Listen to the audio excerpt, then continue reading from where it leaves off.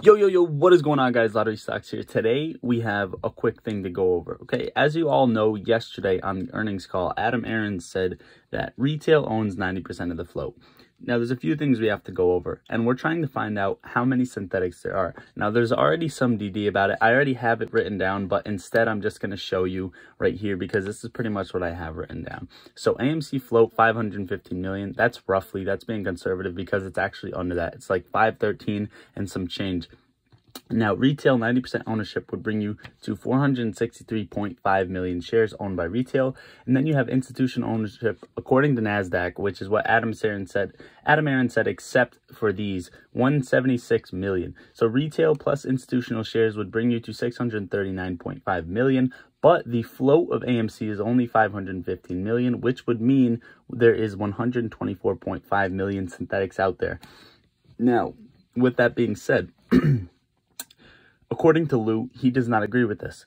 As well, I don't either. So what did I actually do? Do you guys remember the last time that we knew uh, retail owned 90% of the float? That was back between May and June, somewhere on this uh, spike, this peak time, right?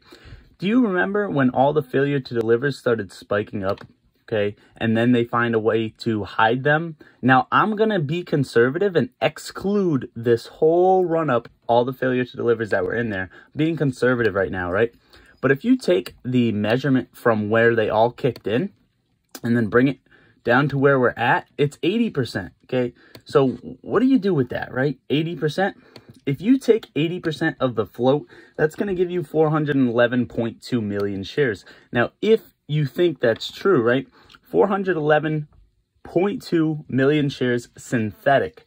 Okay, so that means retail would own 463 million. The synthetics are 411 million and institutional ownership is 176. Now this is excluding the institutional ownership. Also all of the failure to delivers that were right here because guess what? We can't uh, we can't assume how many there were how many synthetics there were just because we were running up. Everyone was buying. So your shares could have been exchanged and naked shorted to the downside if that makes sense. Overall, I want to know if you guys think this is a conservative number to think about. 411.2 million shares short synthetic. That is all I got for you guys today. Consider smashing like on this video, hitting that subscribe button. Love you all. Lottery stocks out.